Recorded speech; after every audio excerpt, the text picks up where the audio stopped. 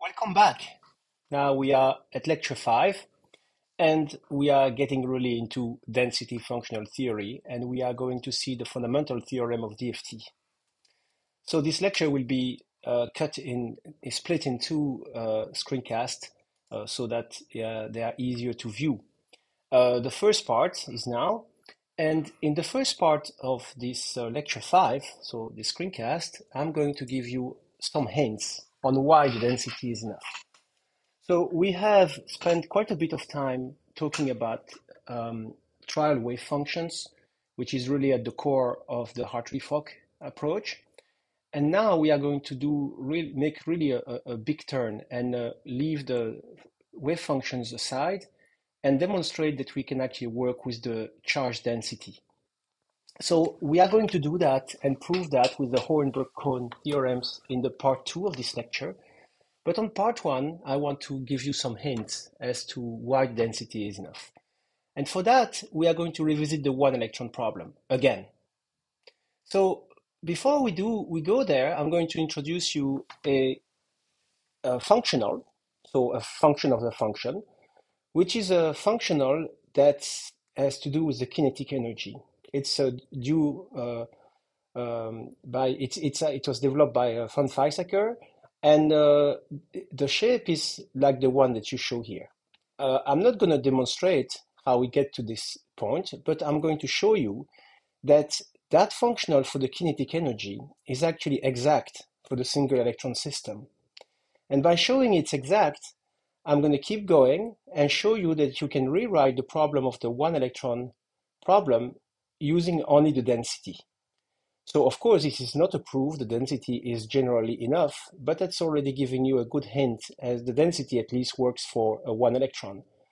I mean, you can also put it in a different way. If we were not able to create, uh, if we were showing that it's not possible to express the one electron problem with density, clearly it's hopeless to hope to treat many electron problems with, uh, with the density. So let's do this. So for, for one electron, of course, the density can be obtained directly from the from the square for the modulus the square modulus of the wave function. Here again, I'm using a real wave function, but it's you can use this for complex wave function if you if you want. Uh, obviously, the derivative of the density with respect to the position. Uh, so we are doing one electron in one dimension, but it can it's easy it's easy to do it in three dimension. The the derivative is kind of elementary. And of course, that means that the square of the derivative is also elementary. Now, if we divide this by n, we obtain this value here.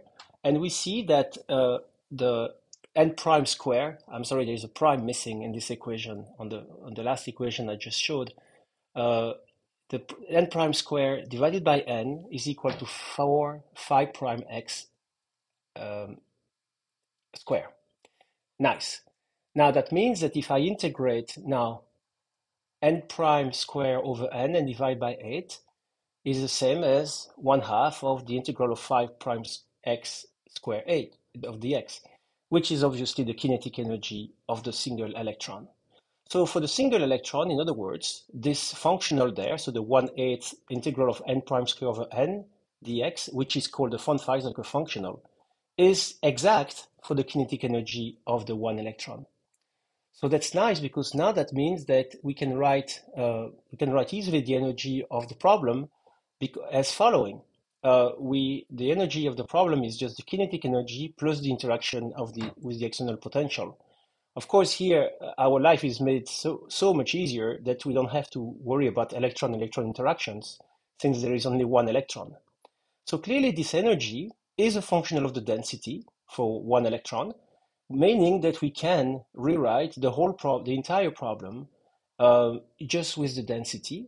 And what we have to do is to minimize that energy functional with the constraint that the number of electron is, of course, uh, kept constant. Here I put n, but I could have put 1, since n equal 1 in this case.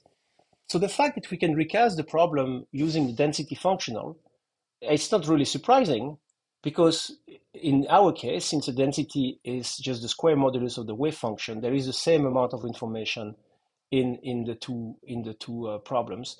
Uh, of course, with the fact that we are we do not have the, the complex part of the wave function, but since in this case it's real, it's not an issue. So um, we can we can calculate now uh, the derivative, the functional derivative of the energy uh, using the functional derivatives that we have discovered in the separate screencast. Uh, so this is the von Weizsäcker um, kinetic energy again. Uh, remember the, the, this this is actually a, a, a, this is actually not a local functional. It's a semi-local one because it depends on the first derivative of the density. And we can use the relationship that we saw in the, screencast, in the other screencast for the functional derivative. This is the general uh, formula. And we can calculate the functional derivative of t with respect to n. And of course, if we apply the relationship, it's actually pretty elementary. I'm going to let, let you do it. But the answer is obtained by this. So this is the functional derivative of the kinetic energy. I'd like to attract your attention to something that even though we have a very simple problem of one electron, the functional derivative of the kinetic energy is not a trivial function. I mean, it depends on the on the first derivative, the second derivative, and and and and the density itself. Uh, and this is just for one electron. So that should give you a hint that the kinetic energy, at least the functional derivative of the kinetic energy in general, is a pretty complex uh, function. So uh, now we can uh, we can actually, if you want, I can actually prove this. I just told you that I was going to leave leave it to you to leave it to you, but we can actually do it. Uh, we can calculate the different terms of the functional derivative. First, the one in blue uh, is simply the derivative of s with respect to n, which is fairly trivial here because, of course, n is, is it, it's just the, the n in the denominator.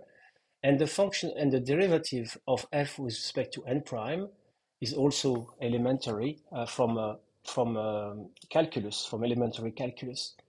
Now, if we take the derivative with respect to x of that gray of that orange box, we obtain uh, this term directly. And then if we put back everything together like this, we obtain three terms, but two of the terms are similar, so they can be they can actually be added, and we obtain finally the result. So this is why um, I find it quite useful if you want to do density functional theory to first learn a little bit about functional derivatives because this is not necessarily uh, obvious uh, based on the the calculus that we use for, for regular function of variables. So we can now cast the problem of the one electron using the variational problem. Uh, again, this is the function we want to derive, uh, to, to, to minimize, which is the energy with the constraint uh, using a Lagrange multiplier on, the, on the number of electrons. Again, I put n, uh, n is equal to 1 in the one electron case, of course. And we calculate the functional derivative of this, which is, of course, this derivative. Uh, I did not provide in detail the functional derivative of the of the external uh, the energy due to the external potential, but it's a trivial one uh, because it's, of course, a local functional. Um, and then we, we do that. Uh, and then we keep we keep going, uh, we keep uh, working our way, and we obtain finally the function that we we, we obtain a, a differential equation really for the density. Uh, this is what we obtain using the result from the previous slide for the derivative of the von Weizsäcker uh, kinetic the kinetic energy, and we end up with a di differential equation no longer of the wave function but of the density. So we could actually solve that problem directly to get the density. Well, of course, you will realize that, uh, as, I, as I already said before in previous screencasts, is that the left-hand side, so the operator, if you want, in front of n, also depends on n.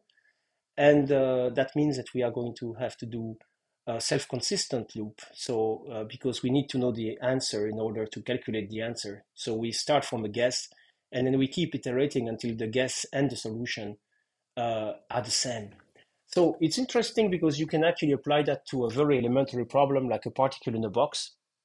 So if you were looking at a particle in a box, which is a problem that we solve uh, pretty much the first problem we solve in, in quantum physics, introductory quantum physics even, uh, we find uh, the density and we find also the chemical potential, which actually correspond to the energy of, of the state.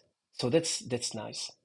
Now, this is what we can do in one dimension for one electron. Uh, but uh, we can say a bit more actually. So uh, we are we can go back and, and think about the role of the density. Of course, the trivial result is that if we know the wave function, we can know the density. That's always true. Uh, uh, we just saw it for one electron, but we saw it for many electrons in the last lecture on, on Hartree-Fock.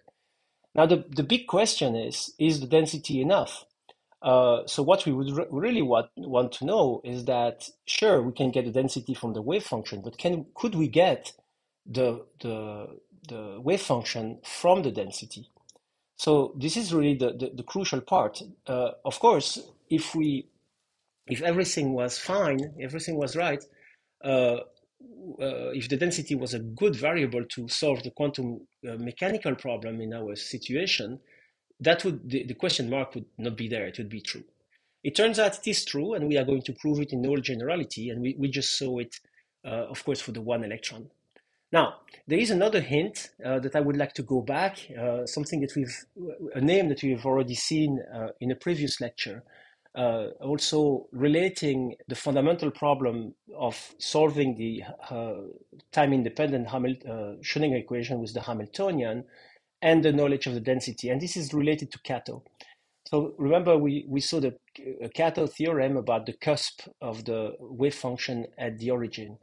Now we can we can. Uh, it turns out that in, in that paper in, in 1957 from Kato, uh, the result that was found is that for for many electron problems, so and many ions like uh, position at position RK, so capital RK, uh, it turns out that uh, demonstrated in that paper that uh, the the charge, the atomic charge uh, at the ion K is actually given by the equation in the box. So I'm not going to demonstrate this, but the, the result is actually quite illuminating because what it says is that uh, uh, in that equation, A naught is just a, a, a distance, right? It's yeah, is the uh, the, the, atomic length.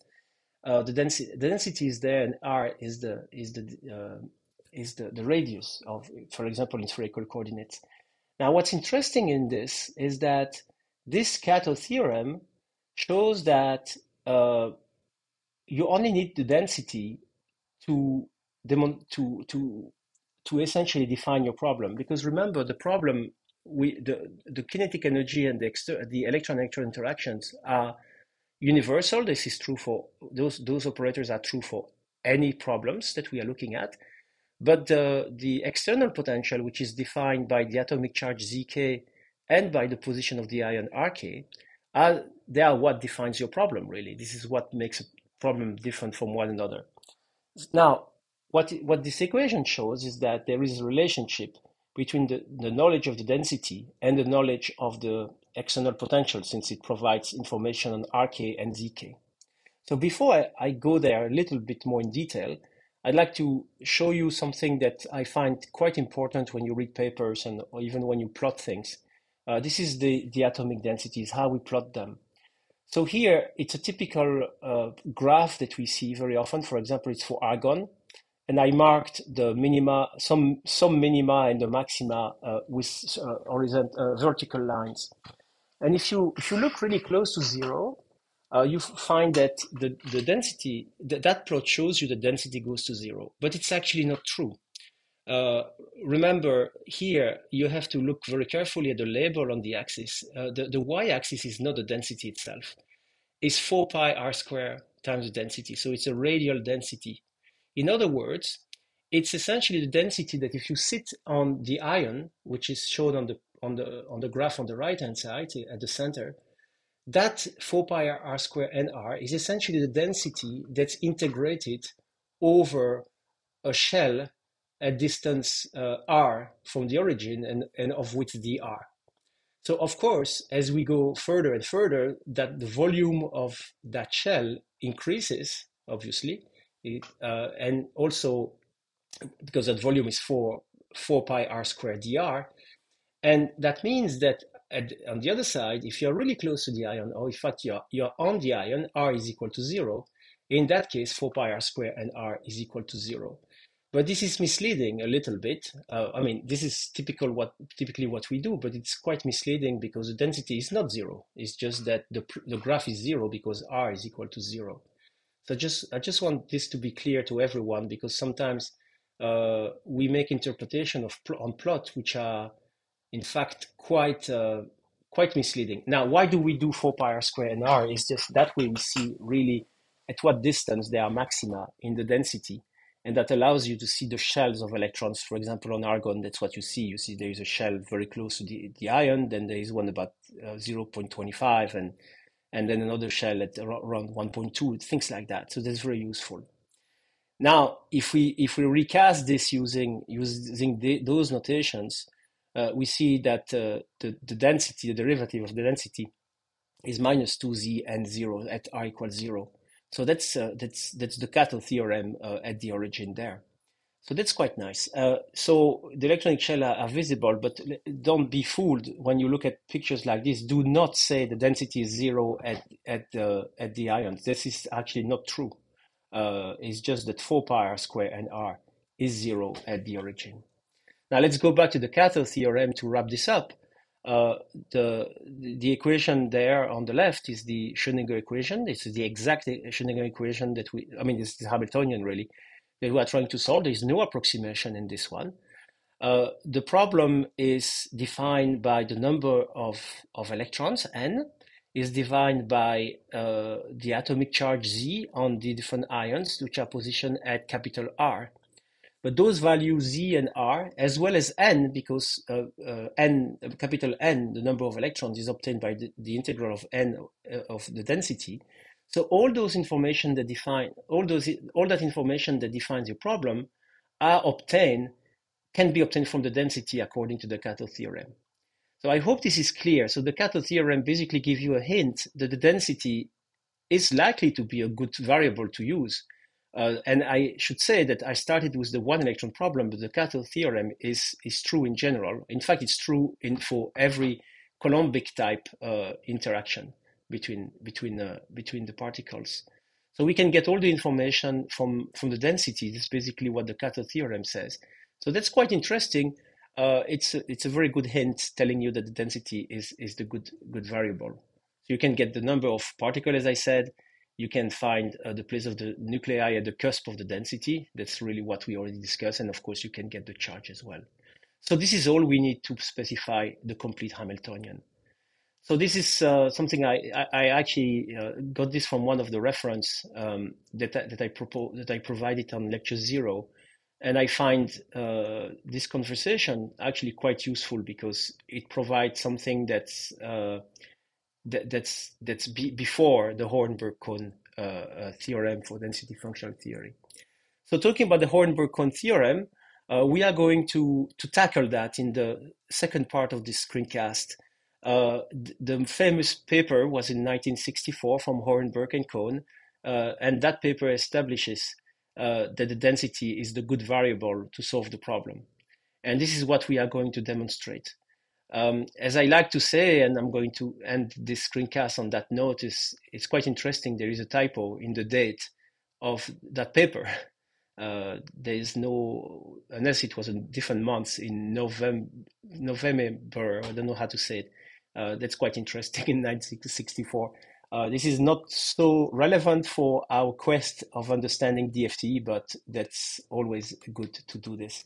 Uh, thank you very much and, and see you back on part two.